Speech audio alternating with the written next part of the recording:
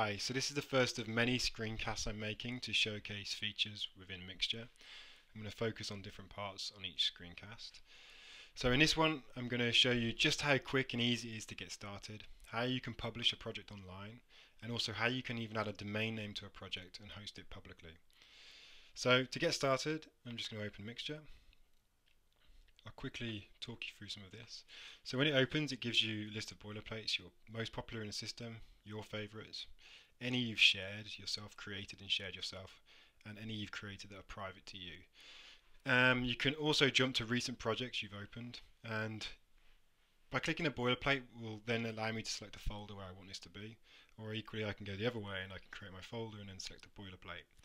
I'm also going to show you another route, so if I close this and create a folder on my desktop, I'm going to call Neil's project, and I'm going to drag this into Mixture. When it opens, it will should show me a list of boilerplates and tell me that to select a boilerplate for that for that folder. So I'm going to choose this one.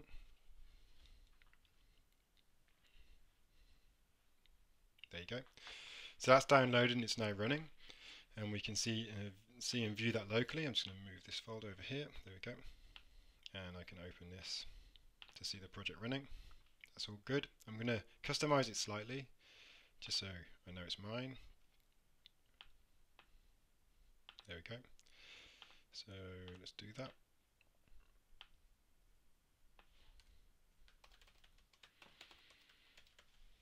Save that and you can see that saved immediately. Okay, let's close that. So now with one click I can publish this online.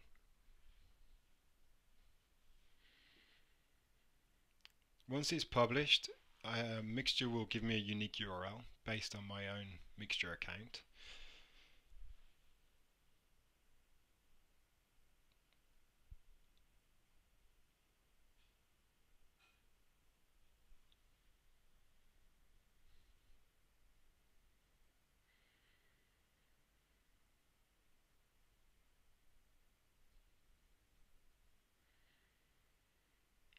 There it is.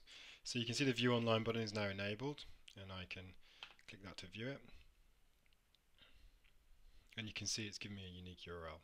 I've already published a project called Neil's Project, so it's added the one to the end. And it's on my own own unique URL there as well, neil.mixture.io. So that's great. But I'd kind of like to make this public, you know, I, I want to put my own domain name on it. So I've already been into my own personal domain and set up the DNS. This is all in the mixture documentation. It's an IP address that you just need to point your domain at. So I've done that already. So I'm now going to go back to my project and I'm going to open the settings and I'm going to go to the domain field and I'm going to add my domain in which this is an alias of my own personal address.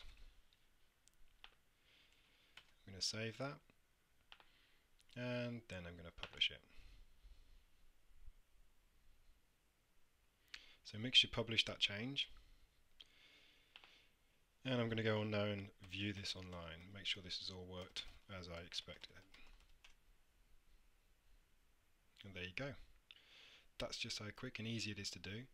The online admin is going to give you control over your project, so you can make them private, password protect them, you can delete them, and you can add domain domains and control that management through the online side as well. Okay, thanks a lot.